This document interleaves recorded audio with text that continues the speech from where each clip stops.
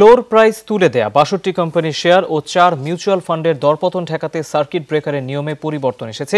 পরবর্তী নির্দেশ না দেওয়া পর্যন্ত এসব শেয়ারের দর একদিনে সর্বোচ্চ দুই শতাংশ কমতে পারবে, এমন সিদ্ধান্ত নিয়েছে নিয়ন্ত্রক সংস্থা বিএসইসি এর অর্থ হলো, নির্দিষ্ট দিনে এসব শেয়ার আগের দিনের তুলনায় সর্বোচ্চ দুই শতাংশ কমে বেচা কেনা করা যাবে, তবে ঊর্ধ্ব সীমার ক্ষেত্রে সার্কিট ব্রেকারের স্বাভাবিক নিয়ম কার্যকর হবে। অর্থাৎ দাম বাড়তে পারবে সর্বোচ্চ দশ শতাংশ পর্যন্ত। ফ্লোর প্রাইস তুলে দেওয়া শেয়ারের ব্যাপক দরপতন ঠেকাতে গতকাল ছুটির দিনই এমন সিদ্ধান্ত নেয় বিএসিসি সকালে এই সিদ্ধান্ত কার্যকর হয়েছে। নিয়ন্ত্রণ সংস্থা মনে করে, দরপতন ঠেকাতে ফ্লোর প্রাইস স্থায়ী কোনো সমাধান নয়, তবে পরিস্থিতি স্বাভাবিক হলে আগের নিয়মে বাজার চলবে।